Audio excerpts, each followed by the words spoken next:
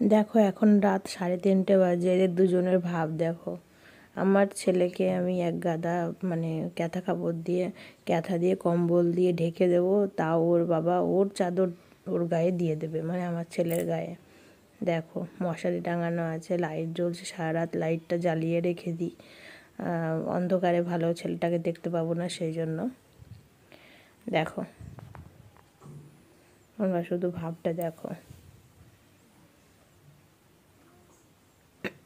দেখো, ভিতরে আমি ক্যাথা দিয়েছি কিন্তু।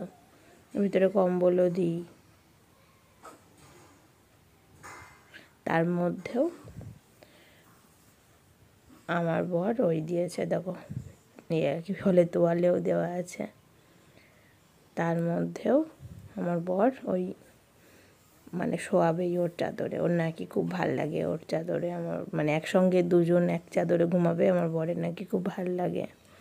সেজন্য এরকম করে শুয়ে আছে।